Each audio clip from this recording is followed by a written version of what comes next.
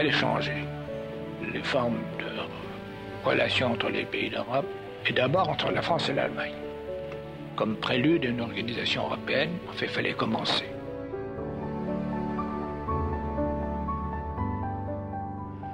Wenn es uns gelingt, dann ist dies das beste Mittel, um eine Politik zu treiben, die sich auf Vertrauen gründet. Si nous ne bâtirons que des administrations communes, sans qu'il y ait une volonté politique supérieure, vivifiée par un organisme central, nous risquons que cette activité européenne paraisse sans chaleur, sans vie idéale. Le problème de l'unification politique de l'Europe est posé. Il ne pourra plus être éludé.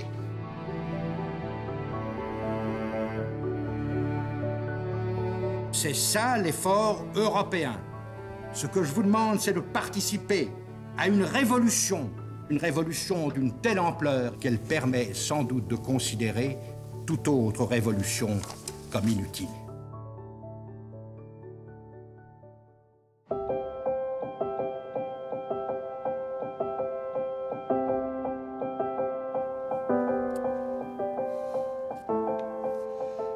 Es war sein 78. Geburtstag, also 54. Es war mein vierter dort in Palais Schaumburg. Das war einer der wichtigsten Tage im Jahr, dieser Geburtstag. Ne? Da waren wir dann ungefähr um 9 Uhr da und dann hat die Familie gratuliert im ersten Stock im Arbeitszimmer mit Gedichten und kleinen Blümchen und so weiter. Und dann ging es runter in das Parterre. Und da kam dann eben der Bundespräsident und die Minister und die Diplomaten und viele andere Leute vom Staat, die Kirchen und so weiter. Man kann das alles hier im Album genau sehen, also wie sie alle konnten gratulieren. Ja, mein Großvater war ein, ein richtiger Familienpatriarch. Er war ein strenger Mann, aber auch voller Humor und hat, er war stolz auf seine große Familie, hatte ja sieben Kinder und 24 Enkel und sechs Schwiegerkinder. Aber der Kontakt war nicht so nah, wie das sonst in Familien üblich ist. Also man konnte ihn nicht äh, umarmen und küssen. Also es, man gab die Hand und sagte Guten Tag, Großvater. Und man sprach nur mit ihm, wenn man von ihm auch gefragt wurde. Er hatte eine natürliche Autorität und er war, seine Autorität äh, war größer als die des eigenen Vaters. Also er war so eine Art Übervater für uns.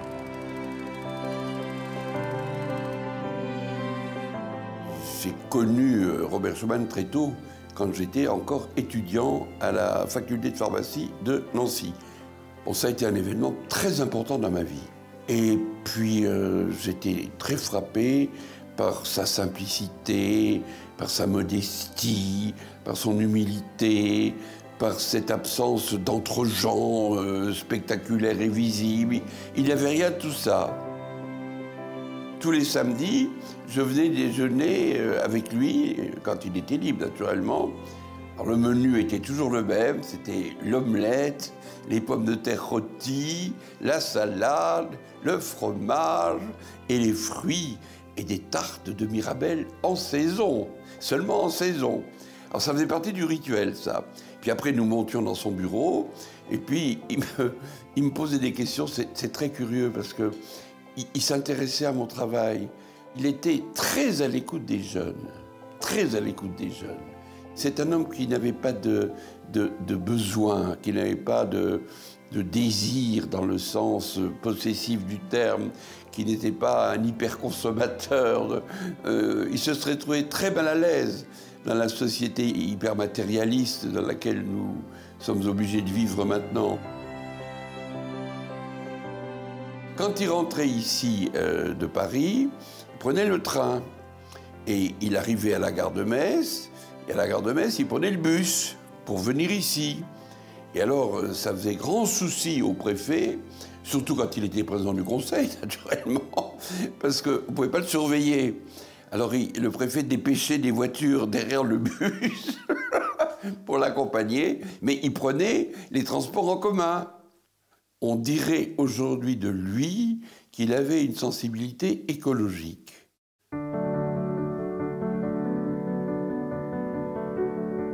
C'était une grande famille bourgeoise, euh, les Spack.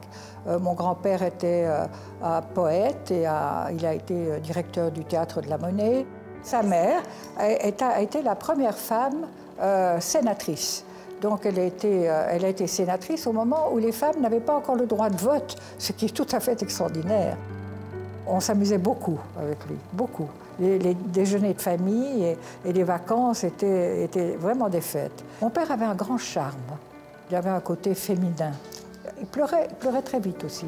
Et il jouait de son charme d'une manière scandaleuse. Et surtout, euh, il était un bon orateur qui croyait foncièrement à ce qu'il disait. J'étais à Paris euh, au, au grand discours de la peur. Il monte à la tribune, il s'adressait aux Russes et il fait un discours sensationnel qui était exactement le discours qu'il fallait faire à l'opinion publique. Savez-vous quelle est la base de notre politique? C'est la peur. La peur de vous. Essayons de prendre un nouveau départ. Prenons ce nouveau départ ensemble. Il n'est pas trop tard. Il n'est pas trop tard, mais il est temps. C'était d'une émotion absolument incroyable. Quelle chance d'avoir assisté à ça. Quelle chance.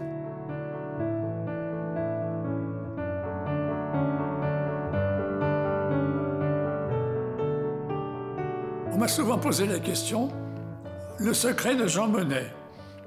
je réponds d'ailleurs que Monnet était un homme du discret plus que du secret. Mais s'il avait un secret, c'est qu'il faisait confiance. C'était vraiment sa qualité principale. Mais voyez-vous, à Cognac, il avait commencé sa vie professionnelle en vente du cognac au Canada et aux États-Unis. Quand un négociant en cognac va chez un cultivateur pour acheter un fût, il sent d'abord, il goûte. Si ça sent bon et si c'est bon, l'acheteur fait confiance, il achète. Monet était un homme qui réfléchissait beaucoup, il avait beaucoup d'idées, il était très attaché à ce que les documents soient mis dans une forme simple, dans un langage simple. Il me dit un jour, voyez-vous, quand j'ai à faire un discours au Parlement, je le montre à mon chauffeur et à ma femme. Si tous les deux ont compris ce que je veux dire, je suis sûr que les parlementaires comprendront. Se devo ricordare com'era quando ero piccola, bambina, eh, ricordo che era un uomo molto serio e che cercava però di eh, farci conoscere la vita attraverso la storia, eh, leggendoci per esempio quando avevamo appena sei anni eh, l'inferno di Dante. Mia madre mi ricordo che diceva ma Alcide, le bambine, e lui diceva perché? Quello che è naturale bisogna conoscerlo. Egli aveva fatto della sua vita un principio di onestà. Quando ha conosciuto mia madre, nelle prime lettere, eh, tra le altre cose gli scriveva io non ti posso offrire una vita eh, ricca, una vita importante perché ho deciso di essere onesto e l'onestà difficilmente eh, è uno sgabello per diventare ricchi.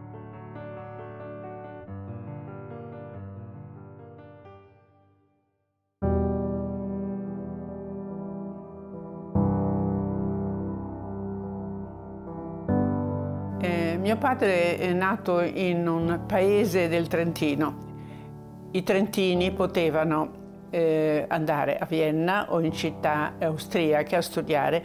A Vienna eh, i primi anni ebbe una vita estremamente difficile. A volte non avendo la possibilità neppure di comprarsi una cena da mangiare, compravano le mele e assieme a altri due ragazzi andavano in camera si sdraiavano sul letto o su una poltrona, uno di loro suonava il violino e gli altri mangiavano le mele.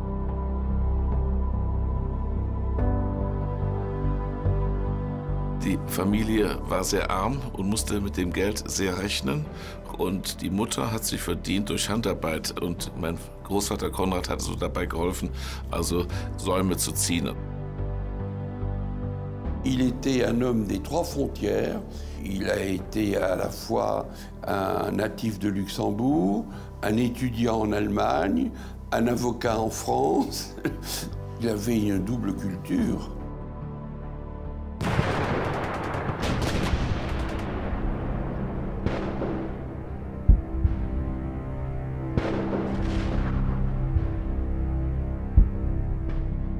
Donc au début de la guerre, le jeune Monet a eu l'idée, déjà, d'unir les forces navales de protection des convois britanniques ou français venant des États-Unis vers le continent européen.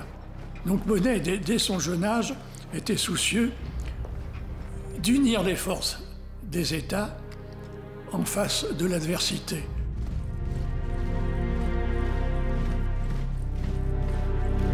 Quand il a eu 16 ans, il est parti pour rejoindre l'armée belge qui était sur les bords de l'Isère.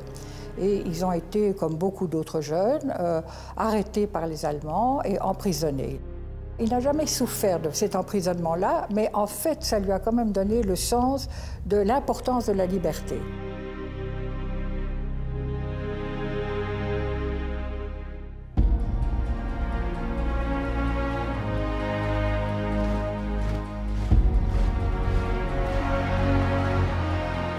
Nach dem Attentat auf Hitler am 20. Juli 1944 wurde mein Großvater verhaftet, weil er ein Verdächtiger war. Er wurde gebracht in das KZ Buchenwald und der Lagerkapo war ein kommunistischer äh, Kölner und hat ihm geholfen freizukommen. Und äh, die Gestapo hat das sofort gemerkt, meine Großmutter hier in Röndorf verhört und dann wurden beide verhaftet äh, und beide getrennt am selben Tag, am Tag ihrer Silberhochzeit, in Brauweiler ins Gefängnis eingeliefert, in verschiedene Häuser.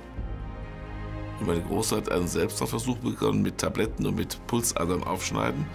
Und daran ist sie später auch mal gestorben, drei Jahre später. I primi tempi eh, venne ricercato dal fascismo perché volevano che assieme al resto dei popolari, il Partito Popolare, accettasse il fascismo.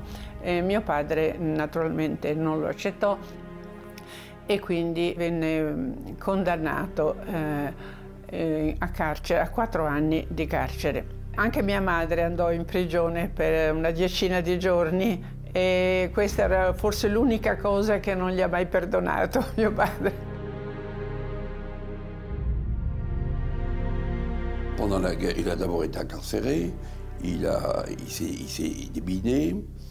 Alors là, il y a un mystère pour moi. Il paraît qu'il s'est échappé de la prison en descendant le long du chenal. Il est descendu comme ça.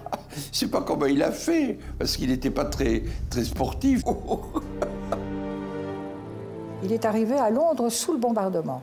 Et son collègue, M. Pierlot, qui était le Premier ministre, euh, lui a mis la main sur sa main et lui a dit Vous pensez à quoi maintenant? Et il a répondu Je pense que nous sommes dans un pays de liberté. Donc les bombes, ça n'avait pas d'importance. Ce qui était important, c'était la liberté. Et on se bat et on meurt pour ça. En Angleterre, il disait lui-même, on n'avait pas grand-chose à faire. Ils étaient ministres, mais il n'y avait pas de parlement. Et euh, avec ses collègues euh, néerlandais et euh, luxembourgeois, ils se sont mis à trois en disant, nous devons penser à la construction de ce que ce sera l'Europe.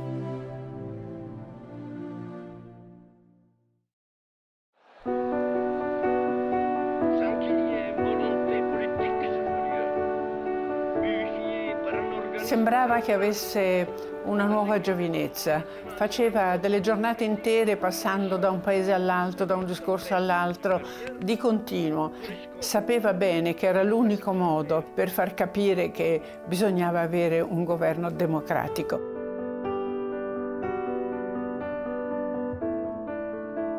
Monet était un homme soucieux de la paix. Il a dit à peu près ceci, les Allemands seront battus, N'ajoutons pas l'humiliation à la défaite. Essayons de construire une union entre les peuples de l'Europe et d'accueillir l'Allemagne après la guerre. Wurde er 70 Jahre alt im Januar 1946 und da er beschlossen, wieder in die Politik zurückzugehen und er hat gleich schon 45 gesagt, Deutschland muss zum Frieden zurückerzogen werden, äh, ein friedliches Volk werden und es muss sich nach Westen orientieren, zu den Ländern der Demokratie, der Freiheit. Et, et Schumann, après la guerre, a eu cette, cette, cette idée, cet instinct de faire la paix. Mais pour faire la paix, il fallait se réconcilier. Il a introduit Adenauer au Conseil de l'Europe, donc avant le 9 mai 50, ce qui était prendre un risque politique considérable, parce que, parce l'Allemagne, c'était l'ennemi héréditaire.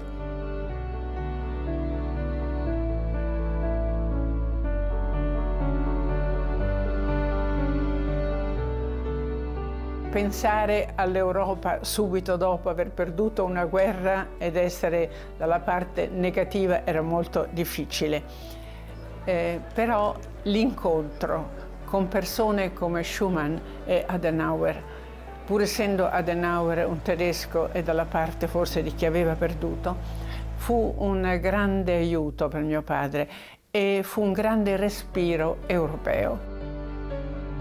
Die Die Gaspel, Schumann und Adenauer passten sehr gut zusammen vom Alter her. Äh, sie lebten also in Grenzgebieten und sie hatten dieselbe Religion, sie waren katholisch und sie sprachen alle Deutsch.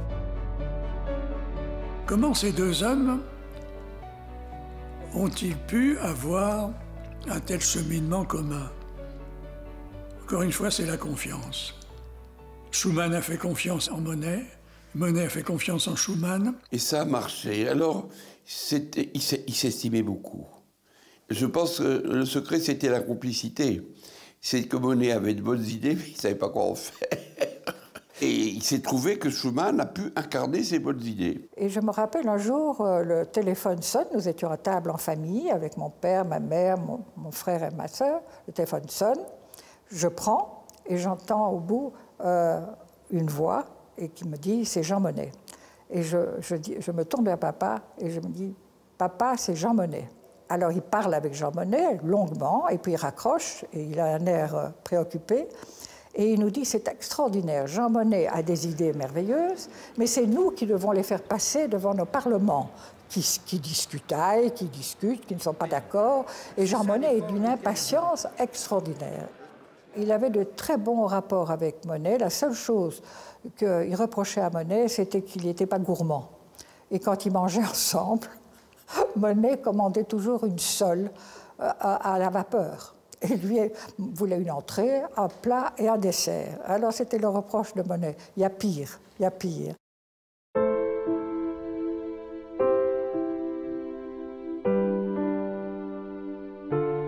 À la fin de l'avril 1950, euh, Schumann était conscient qu'il allait devoir prendre une position au nom de la France à une réunion qui devait se tenir à Londres, à la demande des États-Unis, pour lever les contrôles sur l'Allemagne.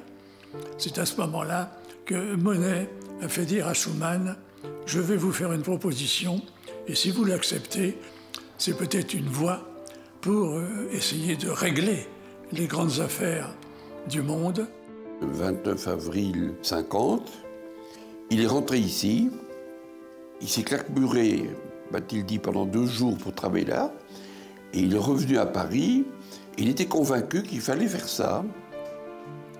Il savait que le président du conseil de l'époque, qui était Georges Bidault, serait très hostile. Alors, euh, très astucieux, il a demandé rendez-vous à Georges Bidault pour lui parler du plan mais il a pris rendez-vous un jour où Georges Bidault n'était pas là. Donc il n'a pas pu lui en parler. Et, il a contacté Delaware, bien sûr, il a contacté Gasperi et les autres. Als mein Großvater ungefähr ein Dreivierteljahr im Amt war, wurde informiert, dass also Schumann also eine Pressekonferenz geben wolle. Und ähm, dann hat er gesagt, dass er eben ähm, eine Gemeinschaft für Kohle und Stahl vorschlagen wolle. Und hat mir Großer gesagt, dass er das ganz fantastisch fände. Aber er sei jetzt kein Wirtschaftsmann, aber er äh, würde es als einen guten Anfang betrachten und vor allen Dingen sei ihm der, äh, der politische Aspekt viel, viel wichtiger als der wirtschaftliche Aspekt, der politische, dass es eben zu einem Zusammenschluss von europäischen Staaten käme eben. Et puis, il y a eu le Conseil des ministres. Puis quand tout est fini, il est midi, alors les ministres ferment leurs serviettes et s'apprêtent à partir déjeuner, et Bidot demande est-ce qu'il y a des questions diverses? Alors Schumann lève timidement le doigt et il dit oui, il, expose, mais très très vite, l'idée du plan. Alors Bidot a dit mais vous m'avez pas parlé de ça? Ah il a dit si mais je voulais vous en parler mais il dit pas là. et à ce moment-là il y a un huissier qui frappe à la porte et qui apporte à Georges Bidot un message personnel d'Adenauer qui lui dit l'Allemagne soutient à fond ce plan. C'est comme ça qu'on est arrivé, grâce à la conjonction historique de Schuman et de Monet, à ce qui fut la déclaration du 9 mai, et ensuite l'adhésion d'autres gouvernements. L'Europe ne se fera pas d'un coup, ni dans une construction d'ensemble. Elle se fera par des réalisations concrètes, créant d'abord une solidarité de fait. J'étais au Salon de l'Horloge le 9 mai 50 et à la sortie, j'étais à côté de Schumann. Lorsque quelqu'un lui a dit Mais alors, monsieur Schumann, c'est un saut dans l'inconnu Vous avez raison, a-t-il dit, c'est un saut dans l'inconnu. Bien sûr. Nous tous, Allemands, Belges, Français, Hollandais, Italiens et Luxembourgeois, devenons Européens. Il n'y aura plus de charbon allemand ni d'acier français mais du charbon et de l'acier européen circulant entre nos pays librement, comme dans un même pays de 155 millions de consommateurs.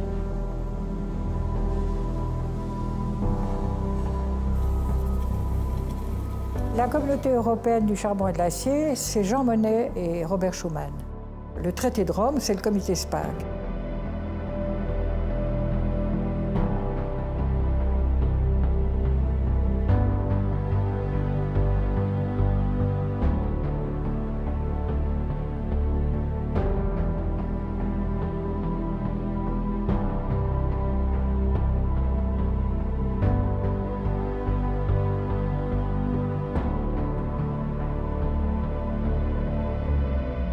Était impatient et quand, euh, ici, au château de Val-Duchesse, les négociations s'enlisaient depuis des semaines. Et c'était la manière dont on devait euh, traiter le problème de l'importation des bananes. Et un jour, il a dit, écoutez, maintenant, je vous donne deux heures. Deux heures. Si vous n'avez pas réussi dans les deux heures qui viennent, je fais une grande conférence de presse et j'explique au monde entier que l'Europe ne s'est pas faite à cause de bananes. Il est sorti, il a claqué la porte qui a failli s'écrouler dans un bruit épouvantable. Il y a eu deux minutes de silence euh, épouvanté aussi, et il est revenu deux heures après, c'était fait. Vous vous rendez compte? Je ne dirai jamais assez combien ils ont vécu ici une sorte de miracle euh, politique.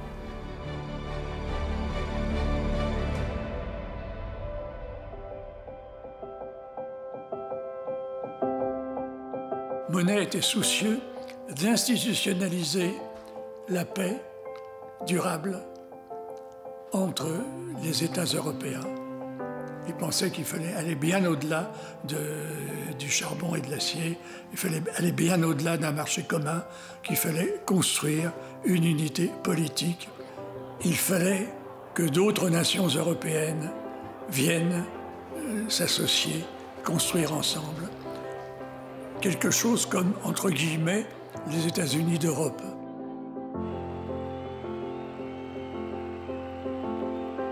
Quand on lit son discours à Rome après la signature du traité de Rome, ça s'adresse principalement aux jeunes.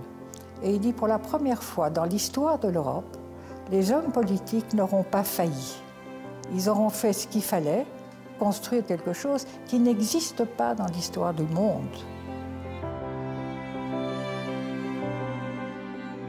C'est un homme qui a donné sa vie à, la cause qu'il défendait. Il voyait très loin. Oh, il a dit, vous savez, un jour, euh, il faudra accueillir euh, les pays de l'Est dans l'Union européenne. Personne n'aurait dit ça. Ça venait à l'idée de personne. Tout le monde pensait que le monde était divisé en Est et en Ouest euh, jusqu'à la fin des temps, jusqu'au jugement dernier. Als mein Großvater im April 1951 zum ersten Mal als Bundeskanzler nach Paris kam, kam eine junge französische Studentin zu ihm und die brachte ihm das Kriegsverdienstkreuz ihres Vaters aus dem Ersten Weltkrieg. Mein Großer hat so dann äh, einen Brief geschrieben. Eine Studentin hat also geschrieben, dass ihn das tief gerührt hat, diese Geste, und dass er dieses Kreuz äh, betrachten würde eben als ein Beginn der Aussöhnung und der Verbindung der Jugend der beiden Völker.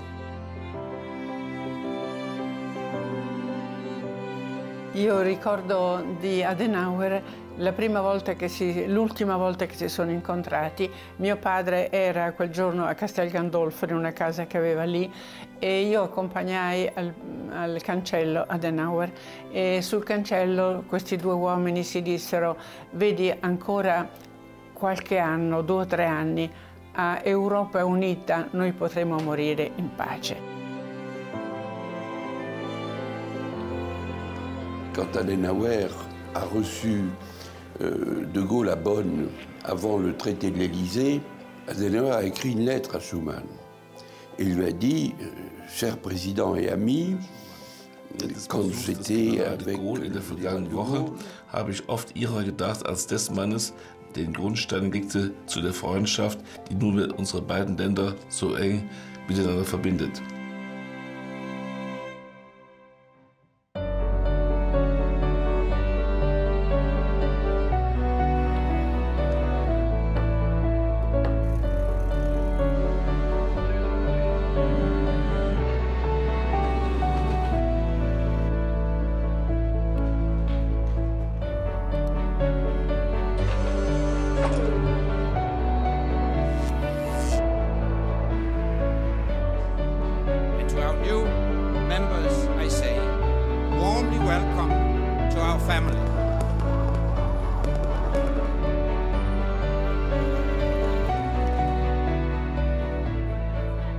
Denke mir, mein Großer würde sich freuen über die, den Fortschritt in Europa, also was Schengen angeht, also was die Reisefreiheit angeht, auch die Zollfreiheit, äh, der freie Verkehr von Waren, Meinungen und Menschen äh, würde ihn sehr freuen, denke ich mir. Auch der Euro, der sicherlich für sehr wichtig halten. Was er sich wahrscheinlich nicht vorgestellt hätte, wäre, dass Europa so schnell auf 27, 28 Staaten gewachsen ist. Das ist an sich das Ideal, was sicherlich er auch angestrebt hat, nämlich äh, nicht Europa nur auswahlweise zu vereinigen, sondern eben das ganze Europa bis an die Grenzen Europas eben. Ne? Il aurait certainement été soucieux d'un élargissement accompagné d'un renforcement institutionnel. Pour lui, les deux devaient marcher ensemble. Pas d'élargissement géographique pur, un élargissement géopolitique. Je ne pense pas qu'il serait hostile à l'euro. Maintenant, il serait sûrement euh, perplexe devant le souci qu'a l'Europe de décider comment sont les fromages et enfin tout cet aspect euh, purement technocratique. Euh. Quand on me dit votre père aurait été très déçu de voir l'Europe aujourd'hui, je, je tempère très fort. Parce que c'était plus facile de se mettre d'accord à 6 avec ces blessures qu'on devait cautériser qu'à 28 dans une époque plus ou moins pacifique avec des dizaines de gens autour d'une table qu'on doit convaincre du bien commun dépassant le bien de chacune des nations. C'est très difficile. Penso che loro avrebbero eh, desiderato vedere una unità politica assieme a unità economica e anche se oggi noi non siamo veramente un'Europa politica unita, non siamo quello che avevano pensato questi personaggi, guardando la storia indietro dobbiamo dire che abbiamo fatto tanta strada, no?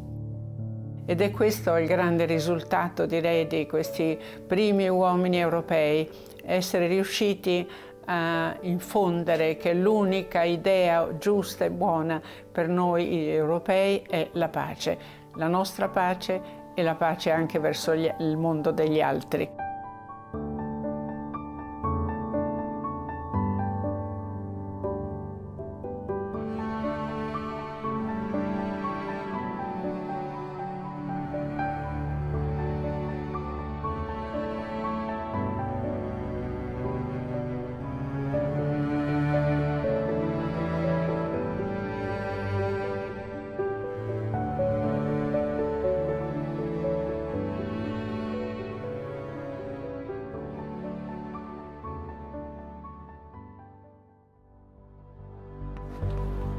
Posso dire che avendolo visto lavorare per il futuro d'Europa, sia veramente un europeo venuto dal futuro.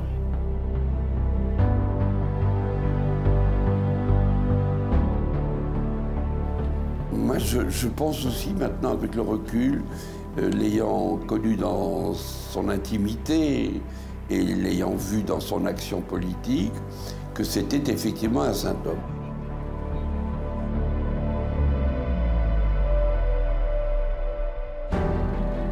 C'était un homme tout à fait euh, extraordinaire. On s'amusait beaucoup avec lui.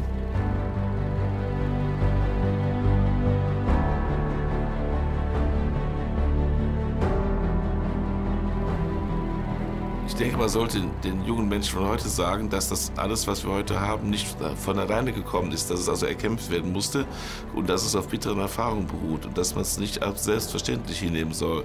Also Europa und der Gedanke Europa muss immer neu erarbeitet werden und auch verlebendigt werden. Ne?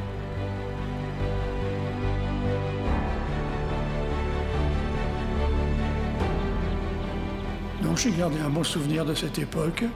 J'ai toujours eu l'impression d'être associé à une grande œuvre.